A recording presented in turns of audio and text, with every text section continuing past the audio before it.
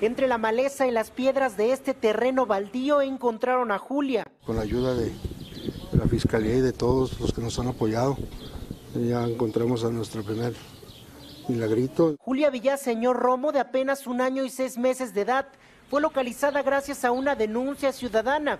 La menor estaba envuelta en una cobija y tenía un teléfono celular. Ahora ya está bajo la custodia de sus abuelos. Muy bien, ya la checaron, ya todo y está muy bien. Gracias a Dios.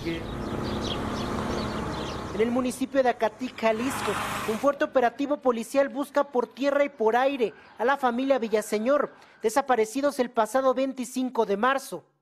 Aún se desconoce el paradero de cuatro integrantes de la familia Villaseñor. La Fiscalía del Estado de Jalisco detuvo a siete policías municipales presuntamente involucrados en su desaparición.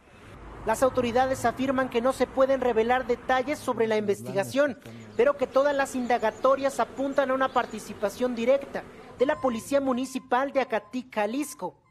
En donde se advierte la participación de al menos tres patrullas de parte de la comisaría de Acatic.